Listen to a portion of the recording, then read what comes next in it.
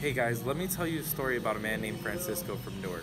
Francisco bought a 2006 Altima a couple years back and has earned almost $1,000 in rewards points from servicing with us. Francisco, if you're out there, please, my name is Jake, come and see me. Be happy to help redeem those points with you, sir.